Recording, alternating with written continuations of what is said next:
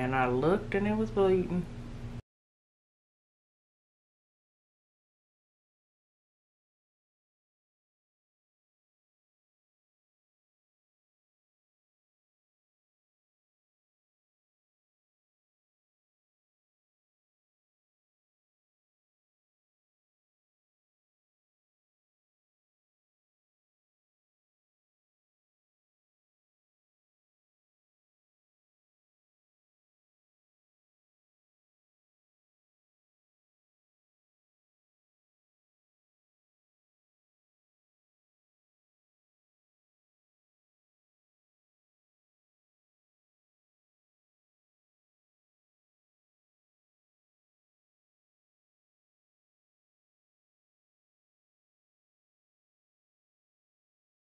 I was gonna put some different lip colors on, but uh, my lip cracked today, girl. I was putting on some uh, some lip balm with my finger, and I was rubbing it across my lip, and I felt it, you know, crack.